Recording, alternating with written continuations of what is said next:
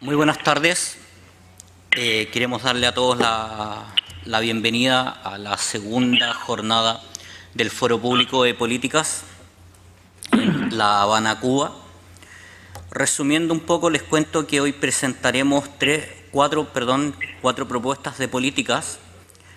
La LAC 2015-2016-3, eliminar referencia de Estado multiproveedor o no multiproveedor de los solicitantes la guion 4, modificación de asignaciones directas IPv6 a usuarios finales.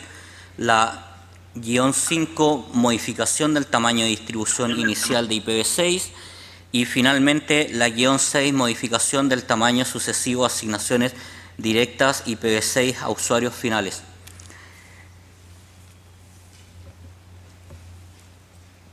Le doy el pase a Carlos que va a presentar eh, a los ponentes en esta ocasión. Muchas gracias.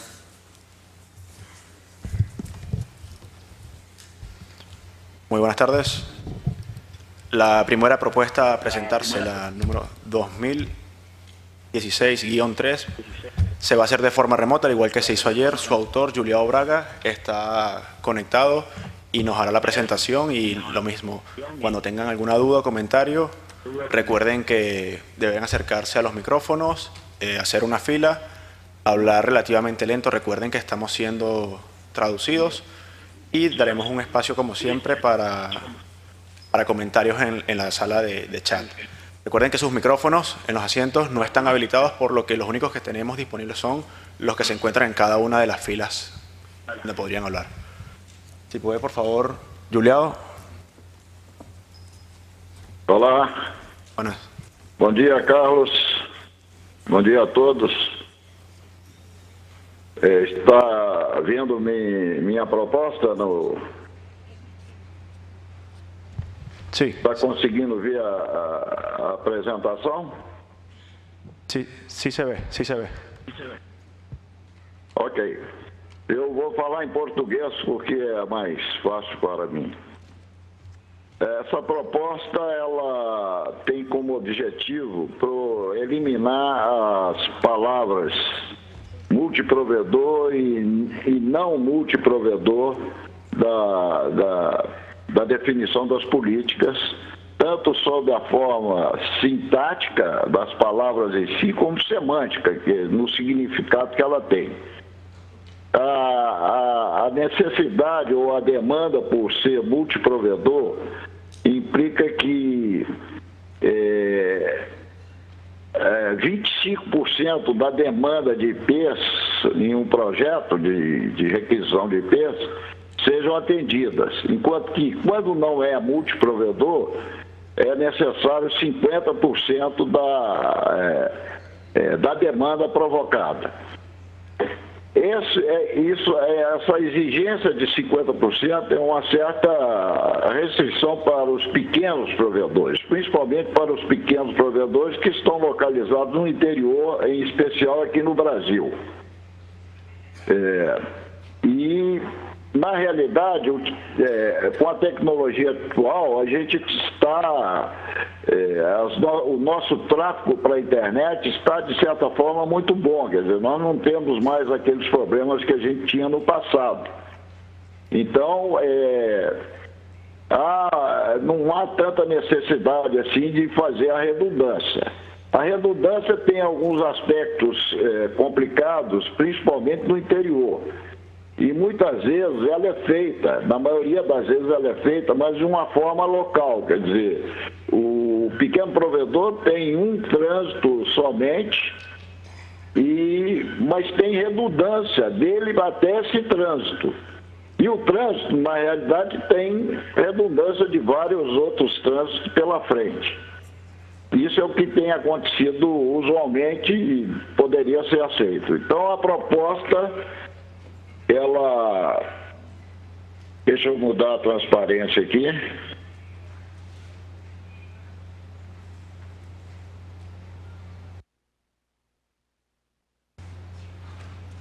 Então, a proposta é eliminar completamente a, a palavra, tanto sobre o aspecto da sintaxe como o aspecto da semântica, relacionado com multiprovedor. Quer dizer, essa palavra desaparece das políticas e nos itens que estão definidos aí, que é o 2.331, 2.333 e no 23343, principalmente na forma semântica, ela deve ser retirada completamente. Tá?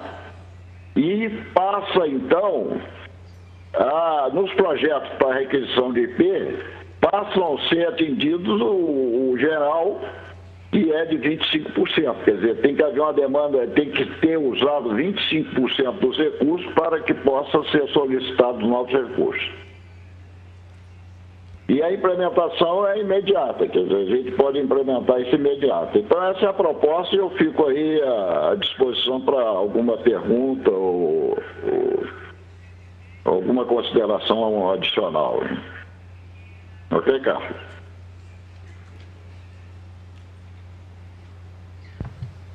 Muchas gracias, Julián. Eh, a, la, a la política, recuerden, pueden hacerlo sin ningún problema en los micrófonos. Sí. Puedes, eh, puede preguntar que eu estou disponível aqui para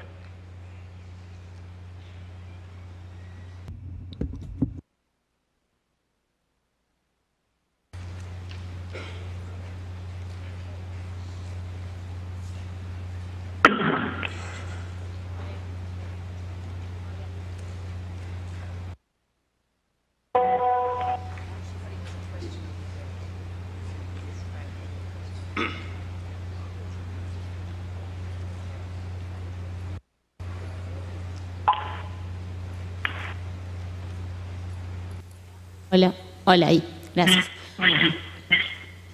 Hola, Juliao, ¿me escuchás? Hola, Juliao, ¿me escuchás? Sí. ¿Puedo terminar, no? Sí, mi nombre es Janina Pensky de LACNIC. Este, lo que quería comentar es algo que ya lo habíamos comentado en alguna de las presentaciones eh, en el en la lista de discusión que se comentó, es que en verdad es un poco, este, como parte de, interpretación, es un poco difícil interpretar solamente remover la palabra multiproveedor. Por ejemplo,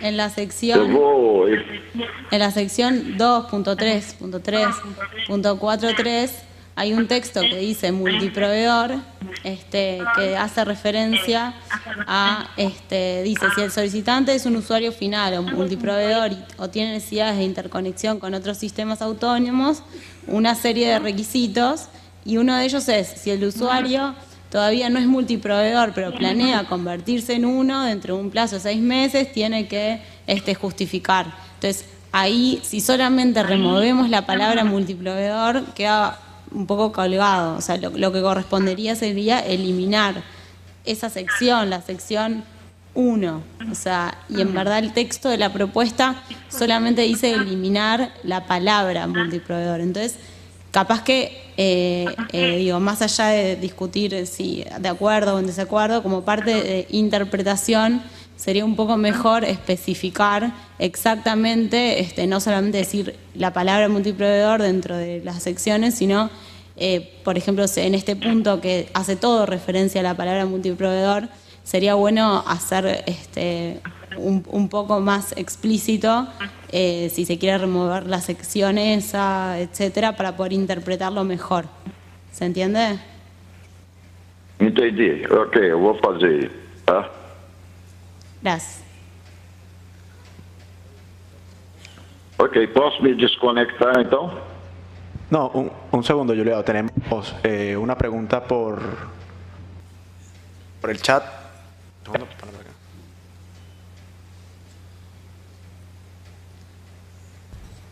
Antes, eh, mientras que viene la pregunta del chat, también otro comentario este, para Juliao es que, por ejemplo, en la sección, eh, en las otras, en la 2.3.3, este, punto 2, que es una de las que mencionás, eh, de sacar la palabra multiproveedor son algunas secciones que hoy en día este, no, no, están activas porque hablan de este, asignaciones cuando es una distribución de un barra 20 o un prefijo menor. Y debido a la fase en la que estamos actualmente, no se hacen asignaciones mayores a barra 22. A lo que voy es que se podría este, implementar, o sea, se podría modificar esto en el manual, pero no, este, sería algo activo porque esta, esta sección este, no está activa ahora por la fase en la cual nos encontramos. No se asignan barra este, 20 ni 21, sino que máximo se asigna un barra 22. Eso nada más. Ok, eu vou fazer a, é, as alterações necessárias e especificar com detalhes as mudanças, tanto sintática como semântica, é, relacionado com a palavra multiprovedor.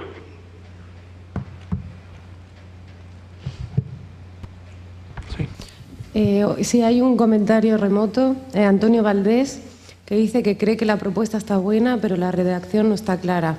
No especifica cómo quedará el texto final en el manual de políticas y removiendo la palabra multihome de los puntos sugeridos no queda clara la redacción. Por tanto, estoy en contra de la propuesta tal cual redactada. Eh, Roberto Feijó también comenta, estoy de acuerdo de sacar la palabra multiproveedor al solicitar un recurso.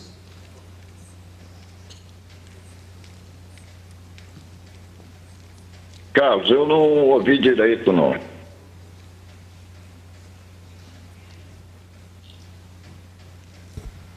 María. Que no pudo escuchar bien, si podrías repetir la, la pregunta, disculpa. Sí. Antonio Valdés, de Ecuador, dice que creo que la propuesta está buena, pero la redacción no está clara.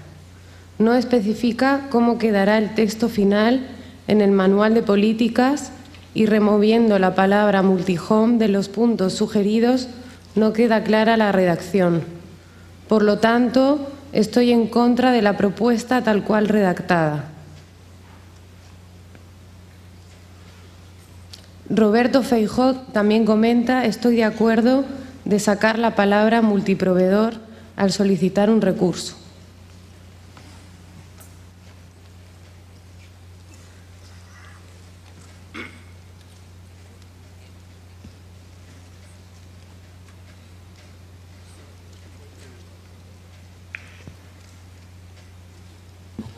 Julio, ¿escuchaste la, las preguntas?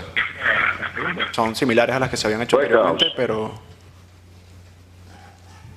Não, eu, tô, eu não entendi a pergunta porque a voz ficou muito ruim.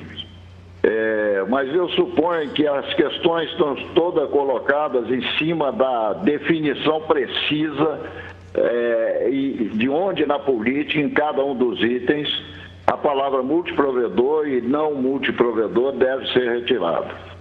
Tá certo?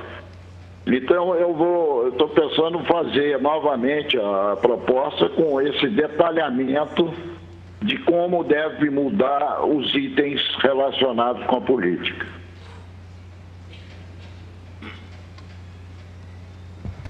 Perfeito. Agora, pergunta, Carlos, eu não entendi não, não ouvi direito não. Estou te ouvindo bem, mas do microfone. No, perfecto. En, principio, la, la, pregunta estaba muy relacionada al mismo tema que había hablado Yanina sobre lo, lo específico, lo que tú estás diciendo respecto a, a cómo va a quedar el texto, a lo que se va a eliminar. Es muy importante saber qué se va a eliminar, no dejar espacio a la interpretación de lo que tienes intención de hacer. Y tenemos tres comentarios iguales donde, a pesar de que están de acuerdo con eliminar esa palabra y que apoyan tu propuesta, eh, piden que se haga de forma específica. Tenemos comentarios de Roberto, de Antonio Valdés, de Michael de Asi Network. Entonces, eh, casi todas están enfocadas en, en lo mismo están a favor, pero creen que la redacción podría mejorarse. Ok. Vou fazer uma nova redação.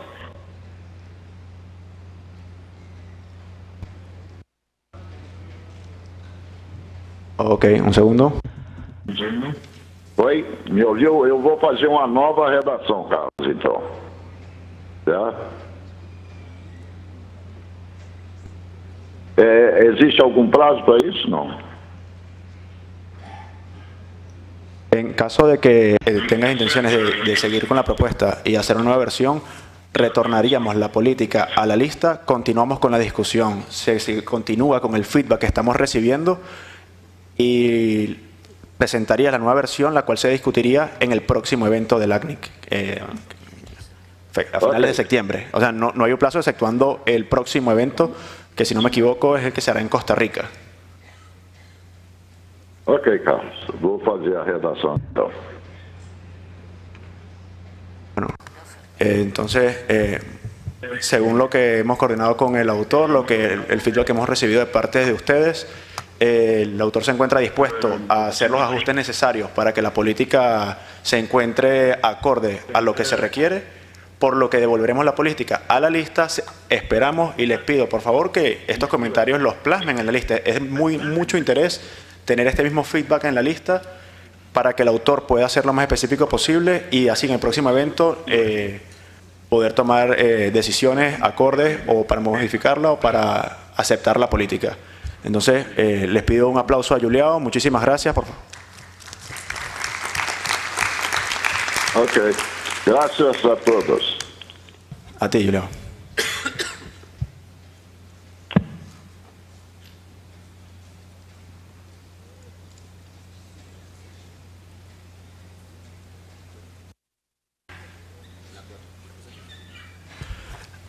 La siguiente política la hará el señor Jordi Pelet, que se encuentra aquí a mi derecha.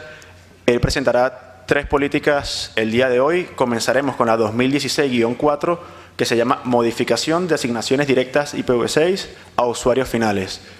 Eh, Jordi. Listo. Eh, bueno, vamos a ver. Eh, he hecho unas diapositivas reflejando un poco el texto que había, que había presentado en la propuesta. Eh, yo creo que en las diapositivas no he aportado nada nuevo, pero quizás está más, más estructurado para, para poder entenderlo mejor. ¿no? Eh, como resumen, eh, la política actual de asignaciones directas de IPv6 a usuarios finales fue diseñada partiendo de la equivalente en IPv4 y estaba haciendo o está haciendo consideraciones que a mi, bajo mi punto de vista no tienen sentido en IPv6. Ahora vamos a ver cuáles son. La propuesta que estoy haciendo modifica este texto para ajustar estas consideraciones a la realidad eh, actual de, de IPv6. Eh, los puntos de la justificación. No tiene sentido eh, alguna de la información que se pide actualmente y que en realidad no afecta a la decisión que, puede tomar el ACNIC para asignar o no es- esos recursos que se están solicitando. Por ejemplo, dado que no hay obligatoriedad de anunciar esos recursos, no tiene sentido hablar de qué, planos de, qué planes de encaminamiento ni qué protocolos tiene quien está haciendo la solicitud. Y luego, por último, en IPv6 eh, no hay eh, ni de lejos un problema de escasez de direcciones y, de hecho, ha sido diseñado para que puedan haber subredes con muy pocos nodos, a pesar de que una subred tenga 2 elevado a las 64 posibles direcciones, lo que implica que lo importante no es el número de nodos, sino realmente el número de, de subredes en función de las necesidades de esa organización. Este sería el texto actual de, de la política, el punto 4542. Eh, los puntos eh, más importantes que, que tenéis que ver aquí eh, y que son los únicos que pretendo eh, o que propongo modificar son los 4, 5 y 6. El 1, el 2 y el 3 no cambiarían. Y en esta otra diapositiva veis todo el texto actual y tachado lo que, lo que eliminamos, con lo cual prácticamente quedan iguales los puntos 1, 2 o 3 y 3. El punto 4 actualmente dice entregar planes de direccionamiento por lo menos eh, mm, un año y número de terminales eh, en cada subred. Yo lo que estoy diciendo es que en realidad pedir el número de terminales en cada subred en IPv4 no tiene sentido. En IPv4 las subredes son 2 elevado a las 64 posibles direcciones pero en ningún caso se pretende que haya una utilización, eh, ningún porcentaje de utilización en una subred. Es decir, podría haber un solo nodo, podría haber 10, podría haber cientos de miles. Eh, eso no, no es un motivo que tenga que ser justificado de, de forma alguna. El punto 5 actual dice entregar una descripción detallada de la topología de la red. Eh, en el punto anterior se dice en caso de anunciar, luego la topología de la red tampoco tiene sentido que se esté, que se esté entregando hasta ese detalle y exactamente igual el punto 6 dice realizar una descripción detallada de los planes de encaminamiento de la red, incluyendo los protocolos de encaminamiento a ser usados, así también como cualquier limitación existente. De nuevo, eh, lo que he indicado antes, eh, son temas en los que el ACNIC no puede, aunque quisiera meterse, eh, estamos diciendo siempre que LACNIC no es responsable del routing, luego no tiene sentido estar diciendo cómo vas a encaminar ese tráfico cuando además en el punto 2 mismo está diciendo que en caso de anunciar, luego podría ser inconsistente el punto 2 con el punto 6. Argumentos. Yo he puesto los argumentos que veo a favor. Eh, he puesto una interrogación en contra porque yo no he visto ninguno, pero la idea es eh, que, quien tenga argumentos en contra pues los exponga y, podemos ir viendo eh, si realmente hay alguno. ¿no? Entonces, a favor se trata de barreras artificiales que en realidad no son verificables ni hay necesidad de ello. para la asignación de recursos IPv6 a usuarios finales, pues además solo se pedía entregar, ni siquiera justificar en el texto existente. Con lo cual, entregar algo, pero que sirva simplemente para que esté ahí, pues no creo que tampoco tenga mucho sentido. Información adicional. Bueno, pues eh, básicamente repasando las políticas equivalentes en otros registros, eh, no están contemplados tampoco. Ya sé que esto no necesariamente es eh, significativo, pero yo creo que es importante tener en cuenta lo que se está haciendo en otros en otros registros. Y respecto del tiempo de implementación, pues creo que podría ser inmediato, no creo que tuviera ninguna, ninguna dificultad. Y hasta ahí llegaría esta, esta propuesta. Voy a poner de nuevo la diapositiva donde se hacen los cambios, por si alguno tiene algún comentario, poder verlos más rápidamente. Muchas gracias, Jordi. Ya conoce el procedimiento de comentarios. Creo que va Ricardo.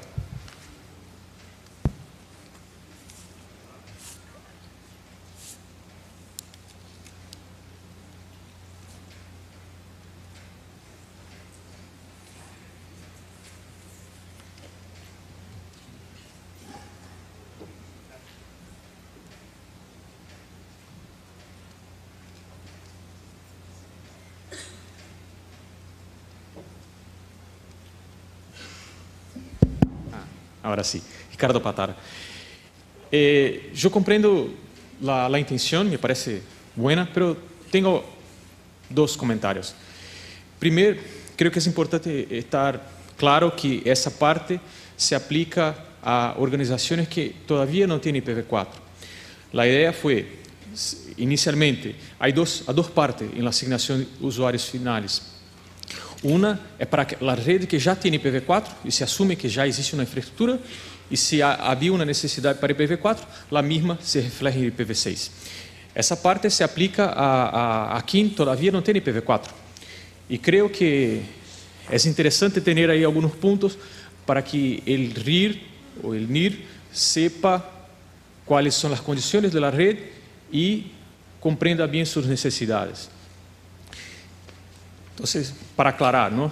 Porque incluso tú comentaste que en alguna parte hay el texto de que estamos en un momento que tenemos que entregar IPv6, estoy de acuerdo, para la red que ya tiene IPv4. Si todavía no hay, necesitamos comprender bien, porque si bien el volumen de direcciones es grande, hay que distribuir con, con criterios de, de, necesidad, ¿no? Eh, Estou de acordo, ele outro comentário, não? Estou de acordo que é, contar o número de hosts em redes IPv6 não tem muito sentido, pero sacarlo sem poner algo em substituição, por exemplo, contabilizar, por exemplo, o número de subredes que é necessário, não sei se vai atrair alguma, algum benefício para os RIRs, porque que, que critérios vamos utilizar para identificar que se há uma necessidade, por exemplo, se um viene e solicita um, um 30, há que ter aí alguns critérios para identificar que se, basado no número de subredes que, que há na topologia, amerita si uma asignação tão grande. Eh, Ricardo, entiendo, entiendo tus comentarios, pero bajo mi punto de vista, eh, en el texto que queda en el punto 3, que no se modifica, y 4, estamos pidiendo esa información, bajo mi punto de vista. Es decir, eso quizás tendría que ser la persona del servicio de registro que nos dijera si efectivamente esa información es suficiente. Eh, yo creo que es así, por eso precisamente esos puntos no los he tocado, excepto en el tema de la justificación del número de nodos en cada red. Sí, puede ser. Mi, idea es así, que eh, eh, no, haría mal tener un punto que, que, fuera claro lo suficiente que lo que busca el, el, hostmaster es comprender el tamaño de, la red, cuántas subredes hay, como justificativa, pero Tá, yo, yo comprendí tu punto. Eh, quizás se me está ocurriendo así de pronto, eh, a ver si estarías de acuerdo con esto, porque quizás estaría ahí el punto. Si te fijas, el punto 5 actual dice entregar una descripción detallada de la topología de la red. En lugar de entregar, sería justificar la topología de la red con una descripción detallada. Pero yo entiendo que los servicios de registro lo que están pidiendo es un plan de direccionamiento. Eso ya está incluido en los puntos anteriores. Es decir, estamos entrando en, un detalle de una interpretación absolutamente literal, que hasta cierto punto es lógico, pero no sé, tengo la duda de que en realidad estamos pidiendo dos veces lo mismo. No sé si, si Gianina puede comentar, eh, porque Sergio no está aquí esta, vez. Eh, realmente cuando llega una petición de este tipo, si a los puntos 4, 5 y 6 se les estaba haciendo algún caso, por decirlo de alguna manera, o con la justificación de la primera parte del 4 y del 3, eh, estaba ya claro lo que, lo que el, uso que se le iba a dar a, a ese prefijo que se está solicitando. Porque entiendo que en la petición, en el formulario de petición, hay, para empezar, un plan de direccionamiento. ¿Correcto?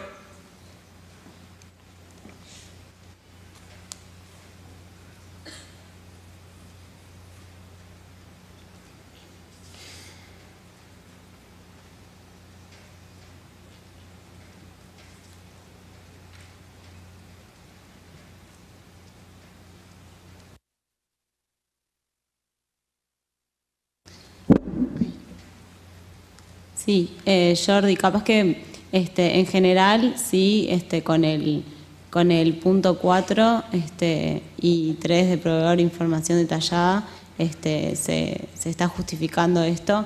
Capaz que, este, sí, ok, está, sí, este, eh, eso. ¿Es suficiente? Sí.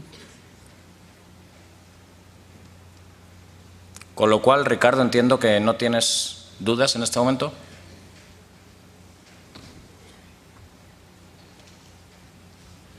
¿Alguna duda más?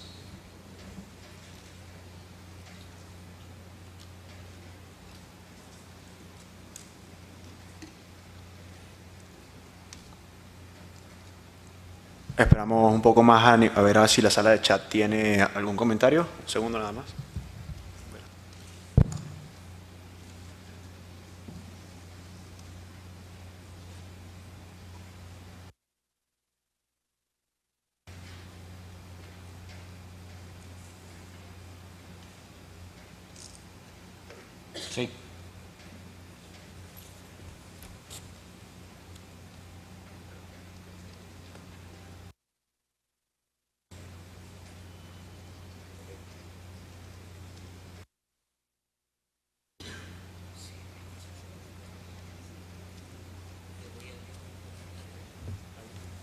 Sí, hay un comentario remoto de Samuel Santos. Dice comentario, en el caso del punto 3, considero que se debe indicar algún plazo definido y adecuado. Un año y medio sugerencia, para que las empresas realicen el anuncio de los bloques IPv6 y no se desperdicien desde inicio el recurso. Eh, quizás la persona que está haciendo este comentario no ha leído bien el, punto 2. Eh, estas asignaciones se entregan sin eh, obligatoriedad de que sean anunciadas, con lo cual no tiene sentido pedir un plazo para anunciarlo.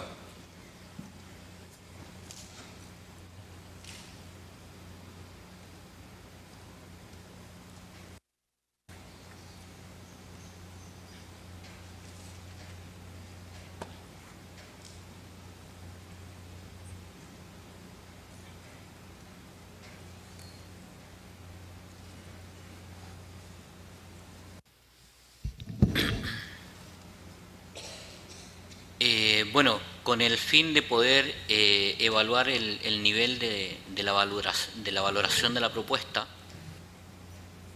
es que llamaremos a consenso. LAC 2016-4, modificación de asignación de asignaciones directas y PB6 a usuarios finales, llevando a consenso la propuesta de política. Por favor, el staff del ACNIC, si nos pueden ayudar con el conteo.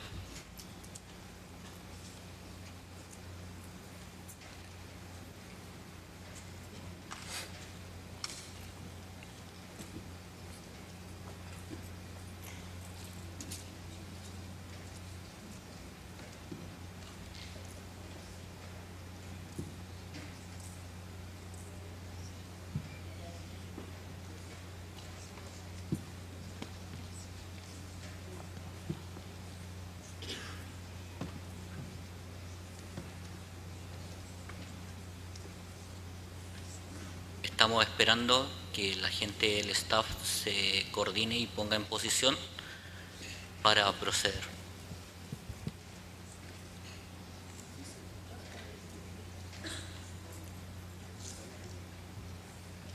Los que estén de acuerdo con la propuesta de política LAC 2016-4, por favor levanten su mano y mantengan un momento.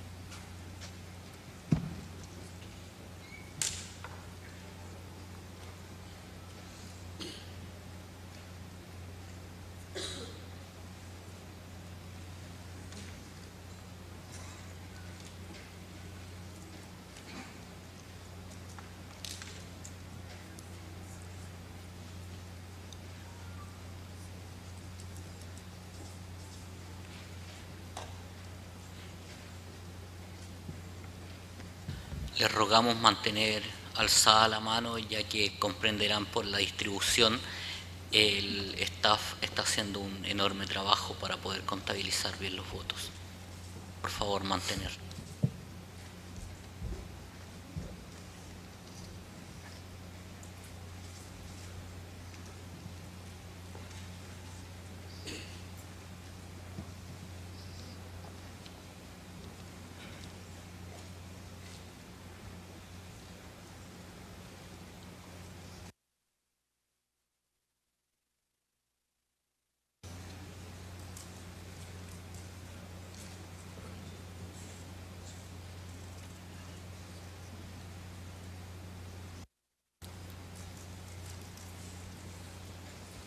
Falta un sistema de votación electrónico como con la membresía.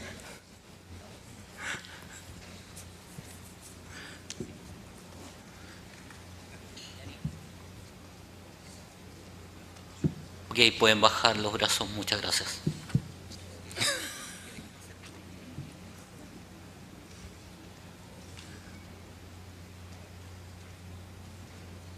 Ahora, los que estén en contra de la propuesta de política LAC 2016-4, por favor levanten su mano y mantengan un momento.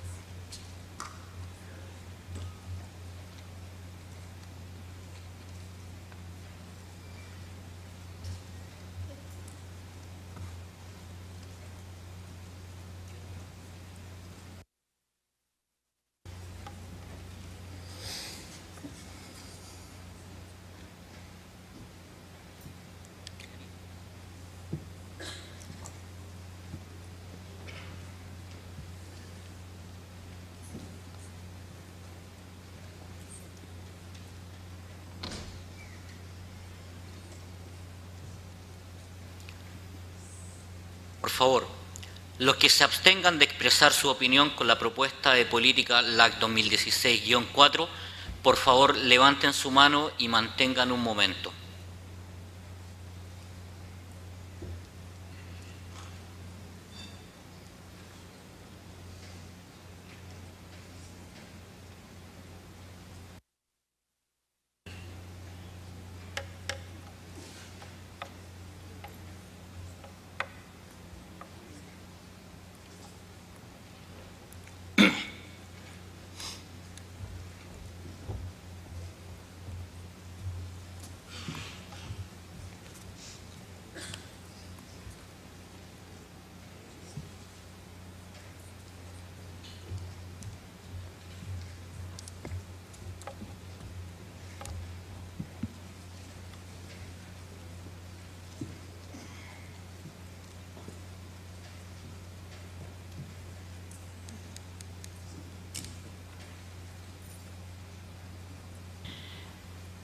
Bueno, con 52 votos a favor y evaluados todos los, los argumentos presentados, todos los comentarios realizados durante el proceso y en todos los canales, esta propuesta pasa a próximos comentarios, al periodo de últimos comentarios antes de ser ratificada por el directorio, ¿o no? Jordi, muchísimas gracias por tu tiempo. Por favor, brindémosle un aplauso a Jordi por su participación.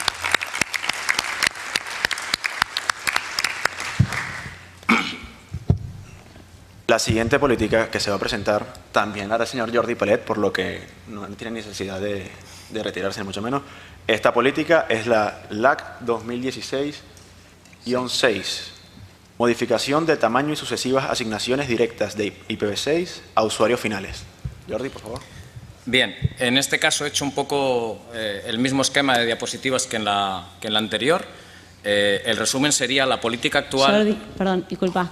Solo para aclarar por las dudas, la, porque este, por las dudas si alguien no sabe mucho el proceso, que recién los moderadores dijeron que pasa últimos comentarios, quiere decir que la, la política fue aprobada y pasa el periodo de últimos comentarios no hubieron ningún voto en contra y ninguna abstención.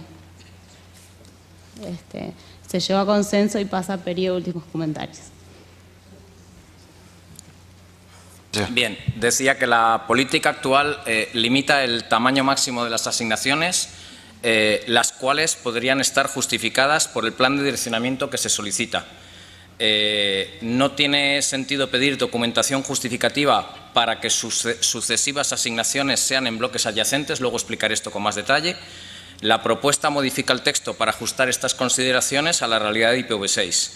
Eh, bueno, precisamente lo que estaba diciendo es que el texto actual de la política, eh, tal como yo lo entiendo leyendo castellano literal, digamos, según la, la, gramática de la Real Academia, contiene un error, ya que lo que se está pidiendo es que para sucesivas asignaciones se documente y se justifique, eh, mm, pero lo que se lee, es decir, esa era la, intención de la política original, que sucesivas eh, eh, asignaciones se documentaran y justificaran, pero lo que se lee en el texto actual es que se documente y justifique para que sean de un bloque adyacente. Ahora lo vais a ver cuando veamos vayamos al texto en concreto.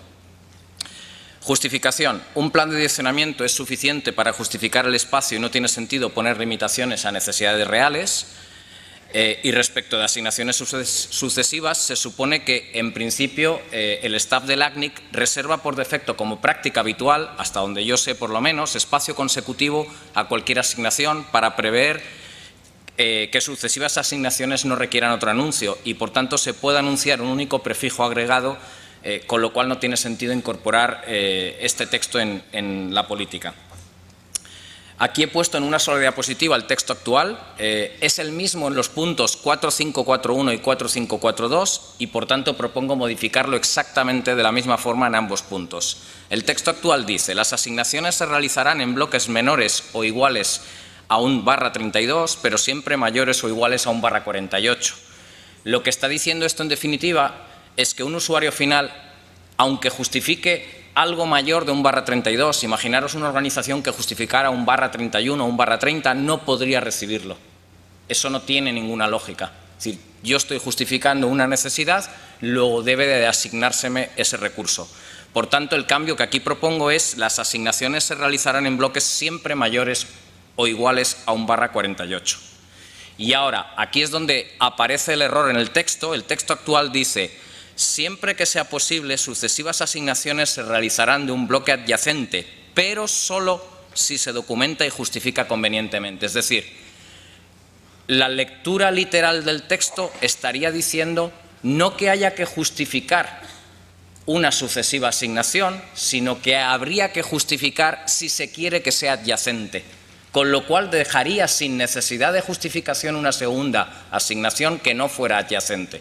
Entonces, lo que propongo es cambiarlo por sucesivas asignaciones tendrán que ser documentadas y justificadas. Además, siempre que sea posible, se realizarán de un bloque de direcciones adyacente es decir, extendiendo la asignación existente n bits a la izquierda. Es decir, aquí estamos, digamos, resolviendo un problema gramatical de la propuesta, por un lado, eh, o por lo menos no, dejando lugar a la interpretación, eh, y en segundo lugar estamos quitando una limitación arbitraria que es que una organización que justifique una necesidad mayor de un barra 32 hoy no lo podría obtener. Argumentos, pues como digo, eliminar el límite de barra 32, aclarar el error gramatical y por defecto ya sabemos que sucesivas asignaciones son adyacentes y que eso no requiere justificación, no tiene sentido que eso requiera una justificación. Y de nuevo, eh, interrogación en contra, pues abierto a lo que eh, cualquiera de los aquí presentes o en remoto pueda, pueda plantear. Información adicional los puntos que se pretenden eliminar tampoco están contemplados en otros RIRs. Eh, vuelvo a decir lo que decíamos antes, esto no necesariamente impediría tener un cambio diferente de otros RIRs, pero yo creo que es significativo que no existe eh, estas limitaciones en otros casos. Y tiempo de implementación, eh, pues considero que también puede ser inmediato. De nuevo vuelvo a la diapositiva con el texto actual y los cambios para comentarios de, los presentes o de los que estén en remoto. Gracias.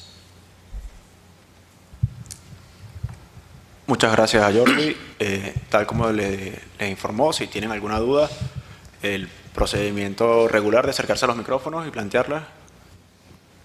Creo que tenemos algo, el chat.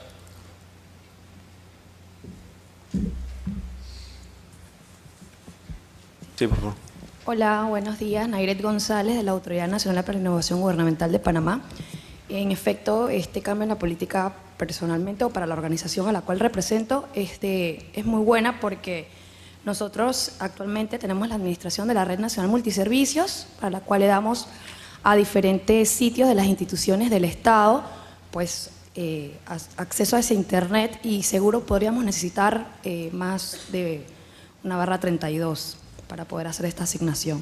Y actualmente pues solicitamos una 35, pues porque estaba esta limitante. Muchas gracias. Gracias.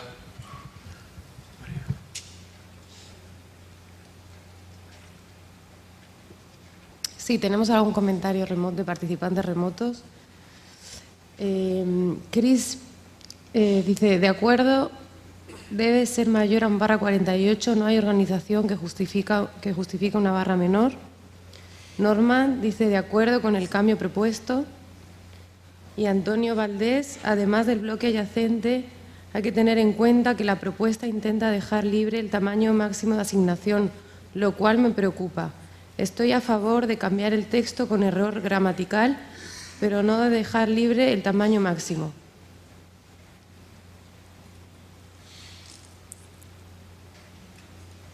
Yo creo que de forma general eh, el sistema de políticas de un registro tiene que eh, ajustarse a necesidades reales.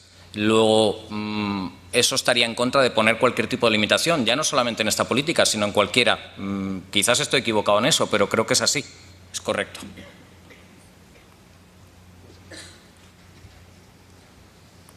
Hola, ¿qué tal Jordi? ¿Qué tal? Alejandro Egidio. Eh, quisiera hacer una consulta, la segunda parte me parece que, sí, está bueno. Eh, con respecto, en cuanto al tamaño máximo, no, sobre el barra 32, quitarlo y eh, no, no, le veo nada. A mí algo que, una duda que me viene surgiendo hace un tiempo es que quizás esté relacionado, si no amerita, aclarármelo nada más, es sobre el tamaño mínimo que es el barra 48 que básicamente es, eh, yo creo que entra como en un conflicto entre lo que se puede delegar un service provider a un cliente que también, y que de hecho es hoy lo que, si no entiendo mal las políticas, debería ser a partir de un barra 48 que un service provider debería delegar y justificar en la ICNIC o, documentarlo cada vez que delega un barra 48 a un cliente.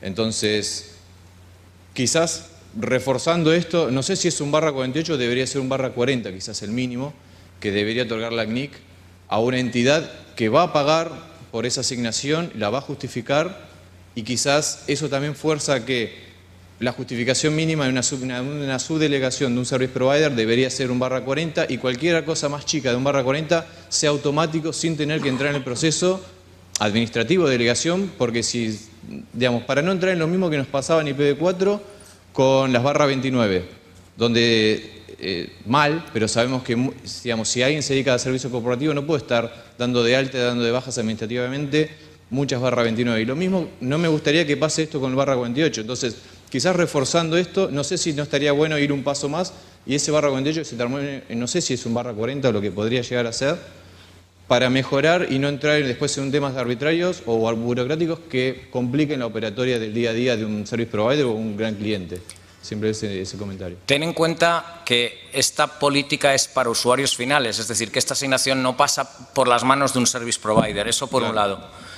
Por otro lado, eh, creo que el objetivo del barra 48 eh, es más, creo recordar, hace ya muchos años de ello, pero creo recordar que allá por el 2004-2005 este, texto no estaba así, sino que estaba, digamos, libre y luego lo cerramos. Y lo cerramos por la razón, eh, creo recordar, eh, igual me confundo con otro registro, pero lo cerramos por la razón, o digamos, en función de evitar que se entregaran prefijos, por ejemplo, barra 50, y que luego fuera muy difícil enrutarlos, porque normalmente los upstream providers no quieren enrutar nada más pequeño que un barra, eh, más largo, digamos, que un barra 48. ¿Vale? Es decir, un bloque más pequeño. Entonces, esa es la razón por la que se puso como punto de partida barra 48 y es, eh, esto creo recordar que es así en prácticamente todos los RIRs. Eh, yo creo que tampoco tendría sentido, vamos a ver, yo personalmente, siendo subjetivo, yo creo que el punto de partida sería un barra 32 para todo el mundo, pero eso es un debate eh, impresionante y prefiero no entrar ahí. Eso sería otro cambio de propuesta. Eh, pero sí que, dado que hoy en día se recomienda eh, especialmente o se sugiere, porque son RFCs informativos, ni siquiera son de obligado cumplimiento, que un site debe tener un barra 48, creo que es lógico que para qué vamos a entregar por defecto un barra 40 cuando puede ser una organización que solo tiene un site y por lo tanto solo requiere un barra 48, ¿me explico? Entonces ahí sí. que estaríamos yendo un poco en contra de los límites de las políticas de un registro que dice que tampoco hay que desperdiciar el espacio de direccionamiento. No sé si me explico. Sí, sí, sí, sí, se entiende bien. Yo simplemente, digamos, quizás va, más allá, es más filosófico, ¿no? Es decir, es un balance entre, entre eh, conservación de direcciones y agregación. Ya sabemos que en IPv4 se prima la, conservación, en IPv6 se prima la agregación, pero no por ello hay que desperdiciar direcciones cuando muchos, muchos usuarios eh, finales realmente estoy casi seguro que la mayor parte de las asignaciones de este tipo de LACNIC son solo barra 48, con lo cual a todos ellos entregarles barra 40 que solo tienen un site no tendría mucha lógica. Lo que pasa es que un barra 48 obviamente pedir solo a LACNIC tiene un costo de mantenimiento, en cuanto de, asignación y, de, renovación. Ahora, si un cliente final se lo pide directamente al proveedor de servicios, no tiene un costo, porque es o me lo das o se lo contrato a otro. No, no, no, pero hay aquí una diferencia que no, no estás teniendo en cuenta, creo, y es que quien pide como usuario final es quizás porque quiere tener independencia del proveedor o quiere tener multihoming. Sí, sí, sí. Entonces son dos puntos diferentes. Sí, sí, bueno, eh, nada, mi punto de vista era eso, pero, pero te agradezco, te agradezco la, aclaración. Gracias. Hola, yo soy Mariela de Argentina. Me quedo pensando con esta propuesta eh, como red académica, digamos, eh, la posibilidad de lo que implica tener, tener la posibilidad de contar con bloques mayores a un barra 32, sobre todo teniendo en cuenta los, las, posibilidades de conexión a diferentes IXP o al mismo IXP pero distintos puntos del país o, las posibilidades de peering que podríamos tener con, digamos, más fácilmente con un barra 32. Yo no sé si con, perdón, con bloques mayores a un barra 32. Yo no sé si otras redes académicas de, tienen, digamos, la misma situación eh, y sé que es diferente a las situaciones muchas veces de los proveedores de servicio, pero bueno, me, quedo pensando justamente en ese beneficio si pudiéramos obtener de, bloques mayores. Hola, Ingrid Ripe. Quisiera comentar... Eh, Acércate más al micrófono. Eh, Ingrid Rippe, quisiera comentar sobre mm, la política que hay en eh, nuestra región. Em, tenemos dos diferentes para asignaciones independientes, eh, portable, el tamaño mínimo de 48 y se puede pedir por un Insight. Se puede pedir más con justificación em, para los em, allocations, no sé cómo se llama en español. Em, Asignaciones. Ah, lo mismo. Ah. Em, se puede hacer em, asignaciones más que pa- para 48, pero si es para un Insight hay que pedir permiso a la RIPE NCC. Entonces no- el tamaño no está libre. Se puede hacer em, como sub-allocations y dentro de eso un 48 cada, cada Insight, pero si un Insight eh, necesita más que una eh, 48, hay que pedir permiso. Tiene que justificarlo. Tiene que es justificar, exactamente lo mismo que yo estoy proponiendo, pero sin límite. Correcto. No hay un límite fijo, Eso es. pero um, es, es difícil justificar un, un- un tamaño Bueno, es- mucho ha, mayor. ha salido una persona del gobierno de Panamá que, que es un ejemplo claro, o redes académicas que puedan tener una necesidad mayor de un barra 32. Con un plan de direccionamiento yo creo que queda justificado. Sí, eso eh, la universidad eh, tendría que ser miembro de RIPE para pedir una asigna- asignación propia y de eso asignar a sus insights. Pero Correcto. es cada insight dentro de la universidad eh, puede recibir un barra 48, pero la universidad en sí puede recibir un tamaño mayor si pueden justificar. Correcto. Gracias. Uh, Guang Liang from APNIC. I just want to share how APNIC do on this. For uh, portable IPv6 assignment, uh, we only mention minimum assignment size is a slash 40A. Um, we don't have uh, limit on the maximum. Uh, but in practice, we never assign anything large than slash 32 in practice. Uh, if they, their requirement is very large, like uh, similar to slash 32, we will recommend them to receive an allocation instead of assignment. Ok. Uh, for the second point uh, is configured. Uh, we APNet use uh, SPA allocation. So uh, if a member come back for uh, second, uh, like a request for the assignment, we can actually give them the next uh, block. So it is possible. Thank you. Thanks. Por si alguno no lo ha entendido, básicamente, resumiendo muy rápido, lo que está diciendo es que lo que yo estoy proponiendo coincide con la política de APNIC, pero que en general APNIC, cuando son asignaciones tan grandes como barra 32, les recomienda que en lugar de eh, integrarse, digamos, como usuario final, se comporte como un LIR. Es decir, es, es otra, otra aproximación, ¿no? pero no lo limita. Eh, y luego que ellos realizan las, las asignaciones, creo que con sparse allocations, como lo está haciendo también LACNIC, con lo cual deja espacios para permitir crecer eh, si se pide una asignación eh, subsecuente. Hay otro comentario remoto de Amaury RS. Es buena la propuesta de Jordi.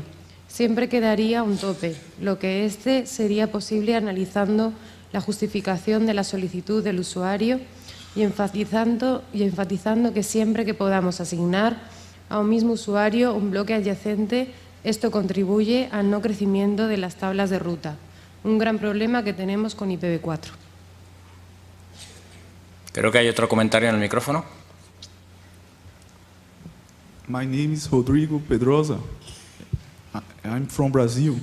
Eu vou falar em português aqui. Na realidade é uma dúvida, mas eu, é, com relação ao usuário final, não ficou claro, pelo menos para mim, se seriam, é, no caso, é, AS ou então só um usuário final mesmo, sem, um, sem ser um autônomo system. Porque se fosse um autônomo system, eu acho que é, é, essa política aí não, não, não tinha muita lógica, porque a gente já vê vários AS com blocos é, maiores do que barra 32, por exemplo, um, bloco barra 28, por exemplo. É, é, e, se, e era mais com relação a essa dúvida aí, se seria só é, aplicada ao usuário final ou então ao Autonomous System. Creo que lo que estás comentando es consistente con lo que acaba de comentar la persona de IPINIC. Cuando son asignaciones tan grandes, eh, seguramente esa organización califica también para ser un LIR, es decir, que entraría en la otra categoría. Lo que pasa es que yo creo que no hay que cerrar la posibilidad de que no sea el caso para que, para que sea así.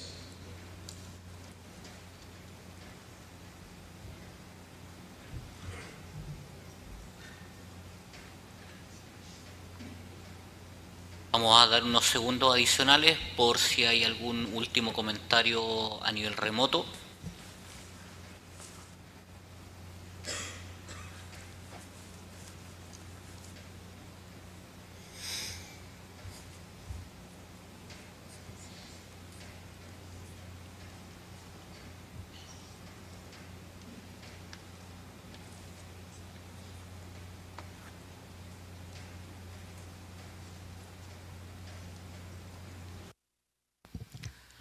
Bueno, en base a lo expuesto, lo interesante de la conversación, eh, en base a lo expuesto, ahora llamaremos a consenso. La política, la propuesta de políticas LAC 2016-5, modificación del tamaño de distribución inicial de IPv6. 2016-6. Ah, perdón, sí. Favor, si el staff del ACNIC eh, nos puede ayudar. Listo.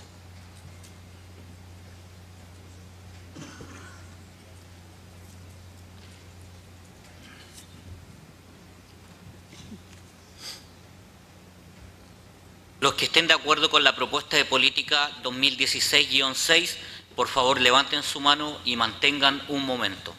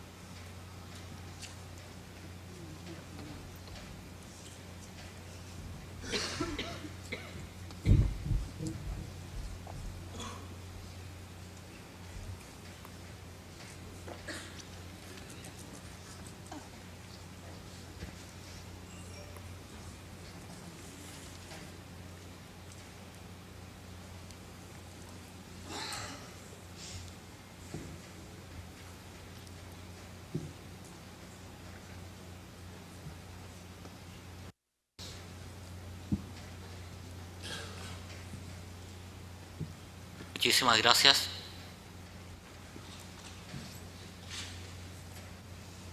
Los que estén en contra de la propuesta de política 2016-6, por favor levanten su mano y mantengan un momento.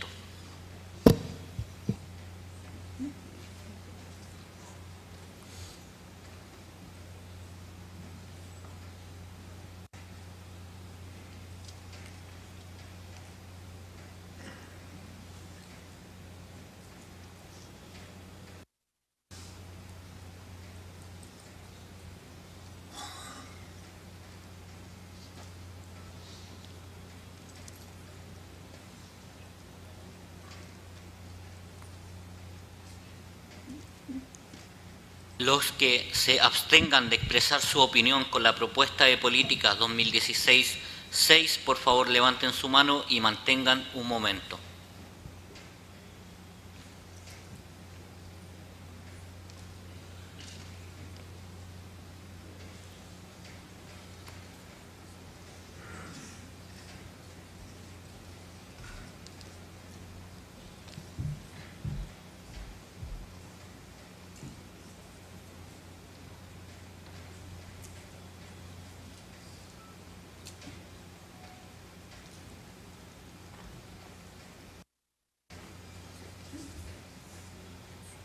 No sé si esto es protocolario, pero los, los que levantan la mano que se abstienen, luego si pueden que contacten conmigo, si lo quieren hacer en privado, me gustaría entender eh, razones por si hubiese que, que ajustar algo.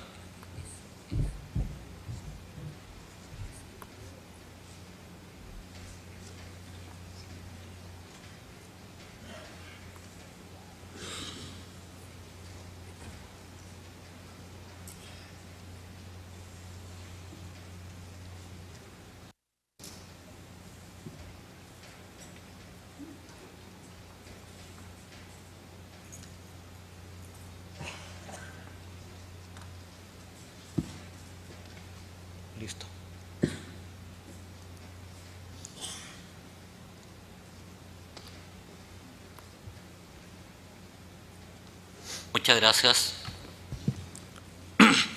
De acuerdo a la medición de, de la aceptación que tenemos referente a esta política, que no tenemos argumentaciones técnicas que nos impidan algún punto para su implementación y al feedback que recibimos de la lista durante todo este proceso, consideramos que esta política llega a consenso con 63 votos a favor, 0 votos en contra y 7 votos en abstención. Eh, llega a consenso y, como se dijo por el anterior, pasará un proceso de últimos comentarios de 45 gigas, donde ustedes, las personas que se abstienen o si consideran que aparece algo que no habían contemplado en este momento, les agradecemos eh, que lo comenten y utilicen ese tiempo para hacer cualquier ajuste necesario antes de que pase al directorio para que se evalúe si es ratificado o no. Entonces, otra política que, que pasa periodo de últimos comentarios y que llega a consenso. Muchas gracias a Jordi. Y adelantando la última propuesta de política que también hará el señor Jordi Palet. LACNIC 2016-5. Modificación del tamaño de distribución inicial de IPv6. Jordi, por favor. Bien. Eh, como resumen de esta propuesta, cuando se diseñó la política no se tuvieron en cuenta casos de organizaciones especiales que no necesariamente son ISPs en sentido tradicional, eh, de una forma estricta. Eh, quizás no es necesario esta consideración, pero yo creo que es importante, no cobran los servicios a sus clientes y son solo clientes internos aún siendo diferentes organizaciones administrativas, y ahora entraré en el detalle de por qué, eh, sino que, por ejemplo, son gobiernos, redes académicas u otros posibles casos similares. Estas organizaciones, por su tamaño, número de usuarios, extensión de la infraestructura, estructura jerárquica y o geográfica, eh, segmentación de la, de la infraestructura por razones de seguridad u otras, podrían no justificar suficientemente una necesidad mayor de barra 32 con el texto actual de la política. El texto de la política actual, si se interpreta de forma estricta por parte del staff del ACNIC y bajo mi punto de vista es como debe de ser, puede generar problemas para la justificación de casos especiales de estos LIRs que no son un ISP en el sentido estricto tradicional como se define en el punto 1.6. Por ello parece razonable establecer un caso más claro para aquellos LIR que no sean ISPs tradicionales. Estos casos en general en IPv4, eh, bajo mi experiencia, habiendo tratado con, con numerosas redes de este, de este tipo, utilizan direcciones privadas y uno o varios niveles de NAT. Y por eso no se ha dado este caso previamente con IPv4, ni siquiera en otras regiones del mundo. Pero esto no es apropiado en el caso de IPv6.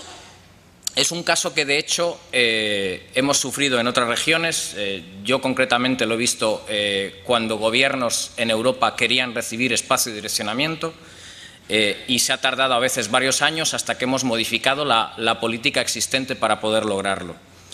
Se trata de evitar que en esta región, que quizás no ha surgido todavía la demanda, pero ojalá surja lo antes posible, repitamos el error y tengamos que esperar varios meses o años a que un gobierno pueda recibir una asignación lo suficientemente importante eh, cumpliendo con la política. Esto sería un ejemplo teórico porque lógicamente no puedo dar datos confidenciales de gobiernos, pero creo que se puede entender muy fácilmente. Imaginemos un país que llamemos el, país del Dorado, por darle un nombre acorde con la región. Entonces, en este, en este país hay eh, unas eh, unidades administrativas que, aunque son del gobierno, administrativamente son entidades diferentes, es decir, tienen un, en Europa le llamamos número de identificación fiscal, tienen un sistema de contabilidad propio que luego se concentra en la contabilidad global del gobierno, pero esas entidades, estados, regiones, provincias, distritos, autonomías, ministerios, organismos constitucionales, etcétera, tienen entidad administrativa propia, son como empresas gubernamentales propias e independientes, tienen su propio sistema de facturación, contable, de impuestos, etcétera, etcétera. Estas entidades por sí solas podrían calificar como usuarios finales según las políticas que acabamos de modificar en los dos casos anteriores. Hasta ahí de acuerdo. Y en esa política vamos a suponer que tenemos un gobierno que tiene 40 de estas entidades y cada una de ellas califica para obtener un barra 32. 40 barras 32 son un barra 26. En un, en un segundo nivel de asignación de ese eh, espacio de direccionamiento dentro ya de las organizaciones, hay un reparto típicamente geográfico y utilizarán n bits de ese prefijo para las regiones o para servicios o una mezcla de, ambos, tal como se hace cualquier plan de direccionamiento en cualquier infraestructura. Y en el último extremo tendríamos los sites finales, pues podrían ser, eh, no sé si aquí se le llama alcaldías, ayuntamientos, municipios, sedes, organismos, etc. Por ejemplo, podrían ser hospitales, escuelas, eh, y así podríamos buscar muchos ejemplos. ¿no? Y la idea es que cada uno de esos end sites reciba un barra 48. Pues bien, si utilizamos el texto actual de la política como LIR, para lo que perfectamente calificarían, porque en realidad imaginemos que el, gobierno de administraciones públicas es el responsable de esa infraestructura para todo el país, podría encontrarse con algunos problemas si LACNIC, como creo que debe ser, aplica el texto de la política actual eh, de forma literal estricta. Porque podría darse el caso, primero, que el texto actual está limitando eso a cuatro años y un gobierno a lo mejor tiene un plan de despliegue a mucho más largo plazo, lo cual le obligaría a tener un plan de direccionamiento para los cuatro primeros años y podría dejar en otro plan de direccionamiento otras entidades para los cuatro años siguientes. Eso es lógico que se haga en un ISP comercial porque va a ir creciendo de una forma que no se sabe hasta dónde va a llegar, pero en un gobierno desde el primer momento se puede establecer un plan de direccionamiento único para toda la vida del país, que es lo que haga falta. Va a ser raro que un país no pueda establecer un plan de direccionamiento y que al cabo de diez años tenga que volver. Podría darse el caso, pero por lo menos estamos minimizando el impacto. Pero desde luego, cuatro años es un plazo corto para un gobierno. Podría darse el caso de que un ministerio, vamos a suponer el Ministerio de Salud, pudiera calificar para un barra 32, pero en cambio el Ministerio de Educación calificara solamente para un barra 33 o un barra 34. Pero sin embargo, políticamente es incorrecto que si se hace una red única, el gobierno asigne a ministerios diferentes diferentes espacios de direccionamiento, porque al final lo que ocurre, y esto lo sé por experiencia ocurrida en países europeos, es que algunas de esas unidades administrativas prefieren ir directamente a RIPE a obtener el espacio de direccionamiento, lo cual es inconsistente con tener mm, agregación y lo cual es inconsistente con tener un plan de direccionamiento único. Eh, insisto que no puedo dar datos específicos, pero mm, de verdad que estos son casos reales y que quizás aquí no se den ahora mismo, quizás aquí los gobiernos no son tan grandes o no tienen todavía esas infraestructuras, pero se trata de evitar que el problema surja más adelante. Entonces, ¿qué es lo que propongo? Una nueva sección que el texto tiene eh, un punto de partida prácticamente igual al que tienen la sección de los LIR actualmente y que sería la sección, si no me equivoco, 4.5.1.4 que dice tamaño de distribución inicial para LIRS que no son ISPs, es decir, no hay que definir una nueva categoría porque lo que estoy es diciendo que no es un ISP, sino que son gobiernos, asociaciones, redes académicas u otros casos similares. Las organizaciones podrían calificar para una distribución inicial mayor a barra 32 entregando documento que justifique el pedido. Hasta aquí igual que lo que tenemos ahora mismo. Pero en este caso la documentación debe de atender a las siguientes consideraciones. Primer cambio, el plan de direccionamiento ha de tener en cuenta la longevidad prevista de la organización. Ahora mismo los ISPs, eh, si no mal recuerdo, son cuatro años el límite que tienen. ¿Ok? Y aquí estamos diciendo que hay que planificar la organización y el plan de direccionamiento de una forma más genérica para evitar, eh, por decirlo de algún modo, planes de direccionamiento fraccionados cada cuatro años en función de cuándo se vaya realizando ese despliegue.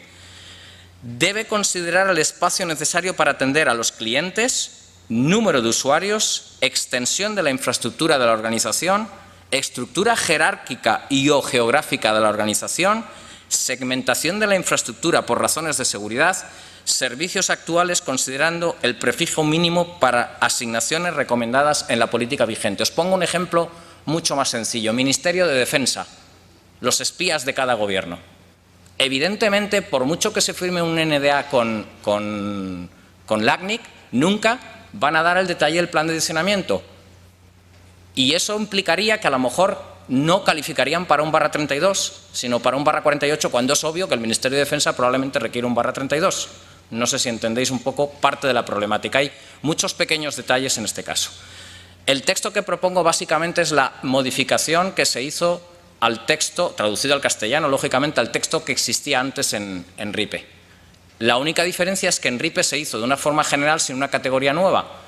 Eh, yo, para hacerlo más claro y para diferenciar ambos casos de ISPs tradicionales e ISPs que son organizaciones, eh, como gobiernos o similares, eh, lo he preferido hacer como un, un punto diferente. Esto, por ejemplo, resolvería el problema independientemente que en cierto modo lo pueden resolver los cambios que hemos hecho a las políticas actuales, pero sería incorrecto, porque, por ejemplo, no sé si me puede contestar la persona del Gobierno de Panamá. En el Gobierno de Panamá, eh, según he entendido, va a, haber, va a haber una red única, pero va a estar dando servicio a muchas organizaciones que son administrativamente independientes, ¿correcto? Con lo cual, ¿sí? No sé si el micrófono de la mesa te funciona. Quizás tienes que salir al pasillo. El, micrófono de la mesa están todos apagados. Tendría que levantarse algo. Sí, en efecto es así. Nosotros desde la, desde la IG le asignamos los recursos. Obviamente después de un plan de direccionamiento a cada una de las instituciones que básicamente son ministerios o entidades parecidas a autoridades que son entidades autónomas. Eso es. Es decir, que os comportáis como un ISP exclusivamente para clientes del gobierno, pero son entidades diferentes. Son diferentes instituciones. Pues siendo así, la política de usuario final no es la que aplica, aplicaría esta. Pero hoy por hoy, quizás, en función de cómo estricta se aplique la política existente del, IR, de ISP, no calificaríais. Es decir, estaríais en un espacio, en un limbo que nadie os podría resolver. Claro. ¿Ok? Sí. Entonces, insisto, esto es una necesidad que se ha visto en otras regiones, que aquí acabamos de ver un caso en el que quizás no se había dado cuenta nadie, pero es un caso real. Esto se puede dar perfectamente en otro tipo de país o, como decía Mariela, podría ser también el caso de las, eh, de las redes académicas. O imaginaros la red clara. La red clara podría estar delegando espacio a, otras universidades o a otros países que son redes totalmente diferentes. ¿Se puede hacer pidiéndolo uno a uno? Sí, pero quizás sería más apropiado, si están enrutando por eh, un solo camino dos o tres caminos, hacerlo de forma agregada. Eso ya es un debate, mm, digamos, más técnico, no vamos a entrar, pero podría ser también un caso equivalente. Bien, argumentos a favor. Considerar la longevidad real de estas instituciones, considerar la estructura jerárquica y política, evitar la desagregación, facilitar el despliegue de grandes instituciones, simplificar la justificación de esas instituciones si se es estricto y es como creo que debe de ser eh, la asignación de los recursos, eh, ir al texto literal de la política. Y en contra, yo lo que veo, no sé si habrá algún comentario adicional en contra, es que se podría estar asignando un prefijo ligeramente mayor que el justificado si cada uno de, los, de las suborganizaciones lo pide por separado. El ejemplo que decía antes, imaginaros que el, Ministerio de eh, Defensa, como no presenta un plan de direccionamiento, no se le podría más quedar que un barra 48 y sin embargo en el plan de direccionamiento global le estaríamos dando un barra 32 a cada uno de los ministerios. Ese sería un caso, por ejemplo. ¿Qué estamos haciendo? Que a lo mejor en lugar de asignar este posible gobierno del Dorado un barra 26, le, deberías le deberíamos de asignar un 26,5 o un barra 27. Pero en realidad estaría justificando, pero no nos puede dar esa información porque no puede ser pública. Y no puede arriesgarse ni siquiera a que pase a una entidad por mucho que haya un NDA. O simplemente puede no ser coherente que dos ministerios se tengan que pelear si uno va por su cuenta y el otro va con la red del gobierno. Eso no tiene ningún sentido. Porque por su cuenta sí que obtendría a lo mejor el barra 32, pero con la red del gobierno a lo mejor estaría calificando solamente para un barra 35, por decirlo de algún modo.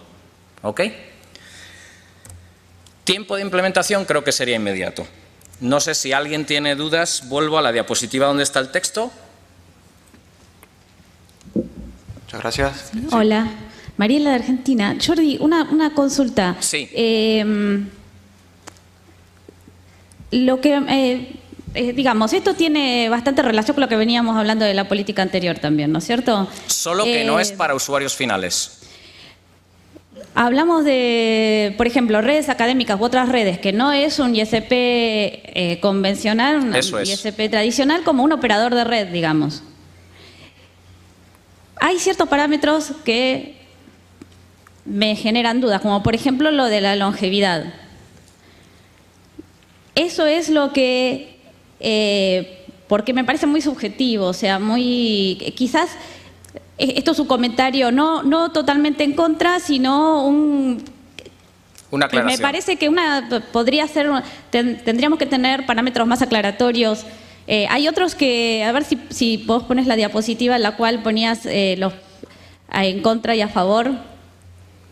Sí. Por ejemplo, evitar la desagregación y ese tipo de cosas que son claramente. Pero, eh, ¿qué, ¿cuál sería la propuesta para considerar la longevidad real de las instituciones, por ejemplo?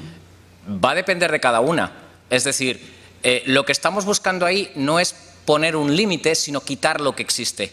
Ahora mismo hay un límite de cuatro años. Lo que quiero es tener una alternativa para aquellas instituciones que no se manejen con presupuestos o con, o con despliegues a cuatro años, sino a más. ¿Me explico? Está bien, eso ahí eh, tenemos un parámetro más Pero no es, no es una subjetividad, es, es una situación real. Es decir, si llega una petición de un gobierno, va a decir, mire usted, señores del ACNIC, yo voy a desplegar en los próximos 12 años, pero quiero hacer un plan de direccionamiento desde el principio bien hecho, único, y no desagregado, y no eh, a trocitos según vaya pidiéndoles más, más espacio. Entonces ese plan ese, no es que sea subjetivo, es que cada institución en, el- en la propuesta de, de pedido que haga el ACNIC va a tener que indicar cuál es ese plazo y en función de eso va a tener que justificar su pedido. Bien, serían, digamos, parámetros todavía a, des- a definir. No, no, no, son parámetros que dependen de cada caso. Imagínate que un gobierno va a hacer el despliegue a ocho años. Entonces lo que tendrá que justificar es su plan de direccionamiento y su utilización a ocho años, no a cuatro como ahora. Otro gobierno va a hacerlo en seis años, pues hará su plan de direccionamiento, su justificación a seis años. Y otro lo va a hacer a 15, pues hará su plan de direccionamiento, su justificación a 15 años. Bien, gracias. Jordi, Ricardo. Eh, bueno, estoy en contra de la propuesta, ya eh, declaré en la lista, pero quería hacer aquí claro mis puntos. En primer punto, eh, quiero aclarar, tú hiciste un, un comentario para la persona de Panamá y me preocupa que pueda sonar como imposible de a- obtener las direcciones basadas en la interpretación y es algo que es una suposición y no creo justo crear un temor basado en una suposición. Ahora, ahora cuando termines lo aclaro. Eh, los puntos que pusiste ahí en el inicio acerca de la jerarquía, de la geográfica y todo eso, lo comprendo y algo semejante, se- muy, muy parecido se pasaría con un proveedor regional, un proveedor nacional que seguro lograría justificar su necesidad. Eh, comentaste también que quizás no ha pasado algo así en nuestra región y quizás podría ser rechazado. Te aseguro que sí pasó y fue aprobado. Tenemos casos en Brasil de organizaciones que son proveedores gubernamentales, que tienen una infraestructura nacional. Brasil es un, un- país bastante grande y sí se pasó. No hubo problema. Eh, el plazo que tenemos en la política hoy, quizás yo interpre, interpreté mal tu posición, pero me parece que, que tu preocupación es, es, es, cuánto tiempo va a tardar para que el gobierno implemente la red y no es eso. El plazo que en la política es cuánto necesitas de direcciones IP, cuánto de, necesitas de direcciones IPs considerando cuatro años. Vamos a pensar, isso está aí para um, eh, pensando em um provedor comercial, seguro que um provedor comercial vai crescer mais com o passar do tempo. É o objetivo, ter mais clientes, mais serviços e vai crescer e se lhe permite receber asignações adicionais. Um governo, se se, hace bem o plano, considerando todos os ministérios, todas as secretarias, toda a sua administração, já sabe quanto necessita, pode poner uma, uma, um espaço para crescimento, para emergência, o que seja, e não vai crescer mais que isso. Ou seja, se, se, se toma o que necessita, considerando quatro anos, não vai crescer mais. E mesmo que se receba essa asignação e tarde aí, les tarde mais que quatro anos para implementar, não importa, não é o que, o que la CNIC, quando vai tardar para implementar, senão o que necessita, considerando um prazo de quatro anos. Ou seja, não vejo, nesse momento, necessidade justificativa para criar um outro ponto em la política, porque eh, eh, estou seguro que a política que temos hoje contempla estes casos e, novamente, temos casos concretos de organizações con estas características que sí lograron recibir las asignaciones. ¿Puedes, puedes, si puedes decir, bueno, entiendo que es un dato que se puede buscar en, en, las, en los FTPs de, del ACNIC, ¿qué tamaño se, se entregó a esta organización? Eh, voy a verificar, pero creo que fue un 28. Un 28. Sí. Mm, yo estoy hablando de asignaciones que podrían ir, eh, y, y el, el ejemplo que he puesto en esta diapositiva es un caso de un gobierno europeo que pidió un barra 26 y durante cuatro años se le ha negado hasta que se ha cambiado la política. Uh -huh. sí. Es decir, estamos hablando de, de, de, de mucho más grande. Uh -huh. es decir, quizás incluso la, habría que ver el plan de direccionamiento o el esquema de la, de la conectividad de la red del gobierno en Brasil, si es otro caso diferente, más pequeño. ¿Me explico? Por mucho que sea un país más grande. Tá. Te aclaro que no fue el gobierno del Brasil como el gobierno, sino que un, una, una, una empresa del gobierno que brinda servicios a otros, otras empresas del gobierno. Es Correcto. Un que quizás no da servicios a toda la red del gobierno. O sea, podría haber sido un caso mucho más grande. Si, si sí. hubiera necesidad, iban a recibir más. Correcto. Lo que, lo que indicabas tú para, para el caso del, del gobierno de Panamá, bajo mi punto de vista, yo puedo estar en un error, pero bajo mi punto de vista, si yo interpreto literalmente eh, el texto actual de la política y a lo mejor estoy haciendo una interpretación incorrecta, pero si la estoy haciendo incorrecta es o que no he entendido algo o que hay algo en el texto actual que no está suficientemente claro. Hay cualquiera de las dos opciones. Entonces, bajo mi interpretación, eh, un posible gobierno, para no centrarnos en el de Panamá, que llegase con una petición de ese tipo, no estaría calificando. Eh, Sergio me, me, me contestó algo así como, cuando ocurre esto, en la CNIC tenemos un sistema para ir escalando esto hasta el CTO, etcétera, etcétera, etcétera. No sé si me dijo hasta el BOAR, etcétera. Entonces, entiendo que ese escalado no debería ser necesario si el texto de la política fuese lo suficientemente definido para evitar ese tipo de escalado, sino que cuando llega al sistema de, registro directamente se ve si ese plan cumple o no cumple y se asigna el recurso. Ahora, si es un procedimiento habitual que cuando se hacen peticiones, por decir algo, mayores de barra 32 siempre se escalan, no lo sé, puede ser un procedimiento interno dentro de, del ACNIC, ¿no? Pero bajo mi punto de vista, eh, desde luego tengo claro que un gobierno hoy en día no califica para la política de usuario final si entrega espacio a otras organizaciones del propio gobierno, bien, eh, y si necesita más de un barra 32, bajo mi lectura de la política actual, no calificaría contra esta. No digo que se esté evitando, no digo que se esté siendo flexible, pero es que creo que con las políticas no se tiene que ser flexible. Creo que el texto tiene que ser, eh, digamos, que esté lo menos sujeto posible a interpretaciones di diversas. Pero, un, un, último comentario. ¿Podrías decir exactamente en qué punto el ejemplo que, que mencionaste del gobierno de Panamá no calificaría? Yo no estoy hablando del gobierno de Panamá porque no conozco esa red. Yo hablaba de como caso general y me ha servido de ejemplo la salida al micrófono en la política anterior. Exactamente. No hablo del gobierno de Panamá, hablo de los casos que yo he vivido en Europa. Pero exactamente, ¿qué punto de la política actual impediría un, un gobierno con esas características actuando como un proveedor y no recibir direcciones? Bien, es que aquí no tengo, aquí no copié el, el, texto de la política actual, con lo cual no te lo puedo poner, pero básicamente son algunos de, los, de las cosas que cambio en el último párrafo de esta diapositiva. ¿Vale? Por ejemplo, consideraciones jerárquicas y geográficas, eh, topológicas. Por ejemplo, en, en la política actual se habla de POP, se habla de unas consideraciones que no tienen nada que ver con una red de ese tipo. ¿Se podrían buscar equivalentes técnicamente? Sí, pero, pero Estamos hablando de, de, una infraestructura relativamente diferente a la de un ISP. No veo, no veo por qué es diferente.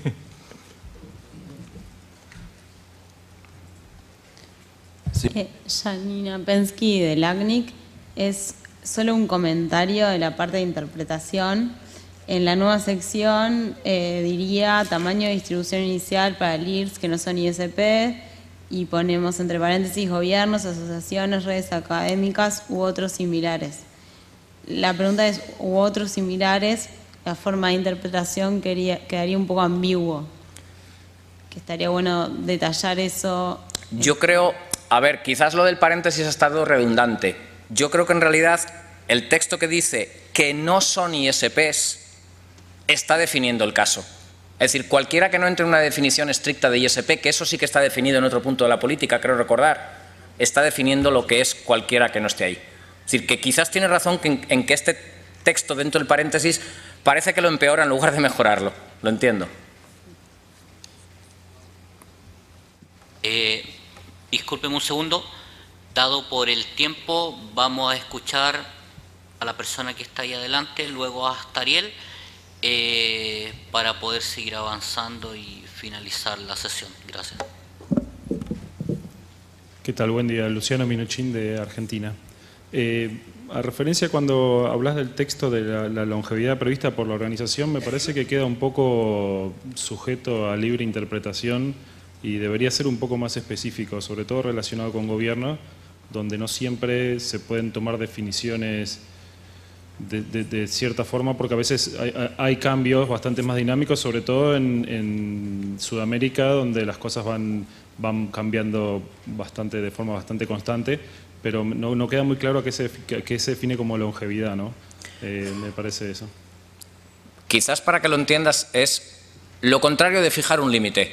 Es decir, no estoy diciendo, creo que lo contestaba un poco cuando le contestaba a Mariela, no estoy diciendo para, bajo mi punto de vista, no es, no es, poner un plazo subjetivo, es un plazo que se justifique en la documentación que se aporta. Es decir, ¿por qué me lo presentas en lugar de a cuatro años, a ocho o a doce? Por esto, por esto y por esto. ¿Me explico? Ok, pero sí. Normalmente un gobierno va a hacer una planificación que independientemente de que cada cuatro o cinco años haya elecciones y cambie el gobierno, normalmente cuando se decide desplegar una red de este tipo, no va a venir un nuevo gobierno y lo va a anular Normalmente, por lo menos eso no ha sido en los casos en Europa.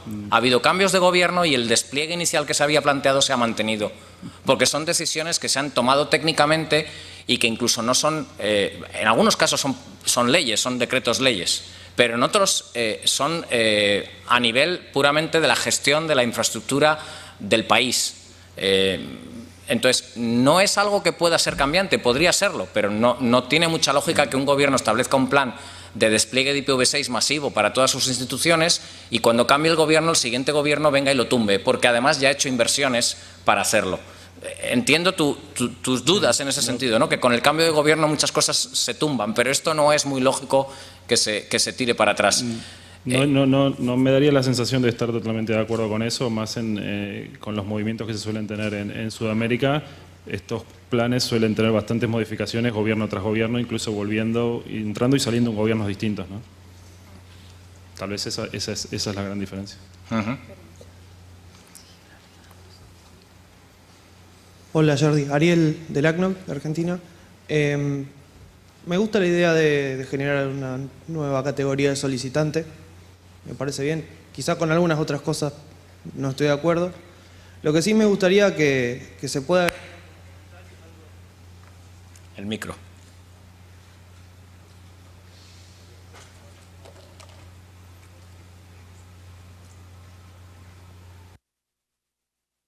¿Se agotó la batería?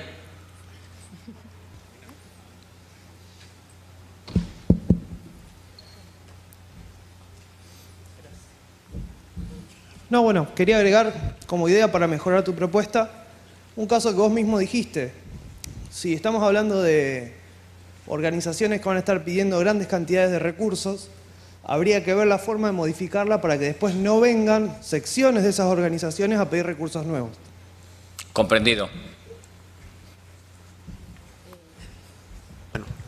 Sí, por favor, bastante Claro, sí. rápido. Bueno, yo les puedo comentar de mi experiencia. eh, en la Red Nacional Multiservicios nosotros solicitamos pues, en un momento un bloque de, en direc- de direccionamiento en IPv4 y la red está operando desde 2010.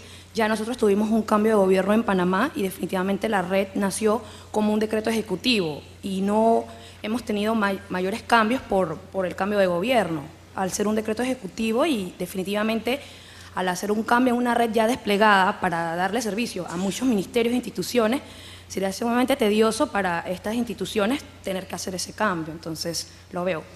Esta política o este cambio que, se está realizando también no- nos parece muy bueno porque actualmente nosotros solicitamos los bloques, tanto en IPv4 como en IPv6, bajo la figura de usuario final. Pero realmente lo que estamos haciendo es una pequeña delegación a otras instituciones que no son eh, dependientes de nosotros. Es más, nosotros somos una autoridad para servicio del, Estado y tenemos instituciones como ministerios que aún dentro de la jerarquía del Estado están arriba de nosotros y nosotros le estamos brindando ese servicio. Entonces también sería importante definir un rol que estuviera entre el ISP y un usuario final, que estaríamos incluidos pues gobiernos, eh, la academia también.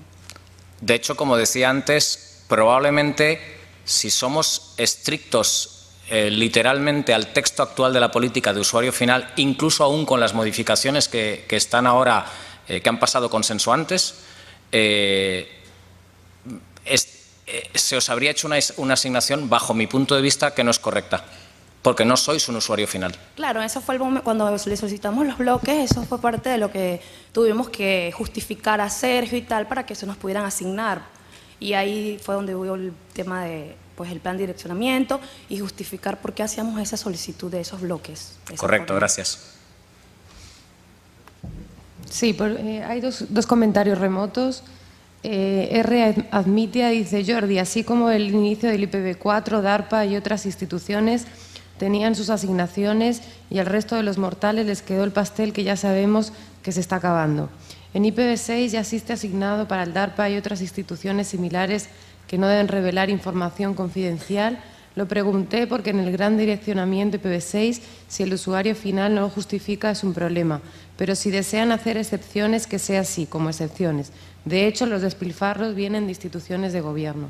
Porque el gobierno no debe ser fiscalizado como los mortales usuarios, deben ser tratados por igual para no tener despilfarros. Eh, luego Antonio Valdés comenta que cree que el Gobierno en este caso podría calificar bien como un ISP, pudiendo recibir más de un barra 32, por tanto no veo la necesidad de agregar esta nueva política. Estoy en contra de esta propuesta.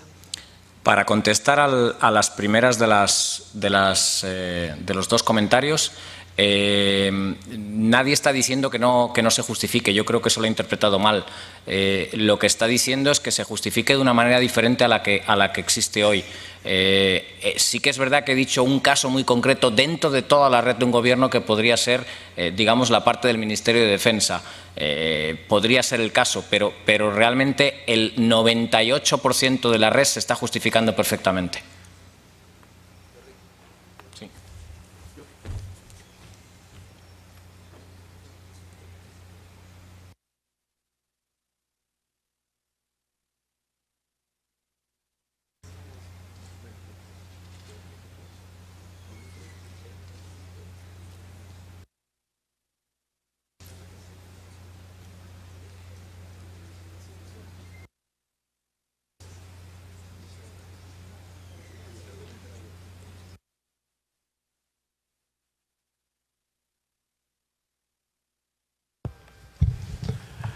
Bueno.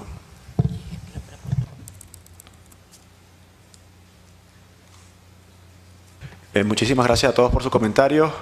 Eh, luego de conversar con el autor y gracias a, los, aportes que han dado desde la lista y muchos de los que eh, se expresaron en este momento, consideramos que hay mejoras que se pueden realizar para evitar interpretaciones, que es una de las ideas importantes de esta política y quedamos de acuerdo que con el autor eh, no es conveniente dejar a la interpretación para que en algún momento alguna empresa que quiera decir que no es ISP, que no es usuario final y que pudiese generar nuevamente lo mismo que ya estamos tratando de, erradicar, que es este espacio de, de, no saber qué eres ni qué asignarte. Entonces, consideramos que es una razón técnica lo suficientemente importante como para la política enviarla de nuevo a la lista y continuar con esta discusión y pasar a, a versiones a posteriori. Muchas gracias. Muchísimas gracias. Un aplauso a Jordi Palet por sus tres políticas.